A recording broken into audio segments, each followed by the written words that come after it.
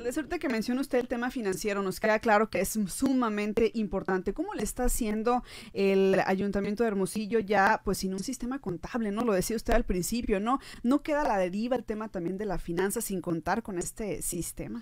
Mira, es, es un absurdo que una, una ciudad como esta no tuviese un sistema contable, sobre todo porque la ley de disciplina financiera lo mandataba desde el 2016. Y nosotros tenemos ahora un reto impresionante porque llevar a, la actual administración a la implementación, sistematización de todo un sistema contable tiene muchos retos. Ya lo tenemos, eh, el GRP ya está oficialía mayor en este proceso de capacitación de las áreas.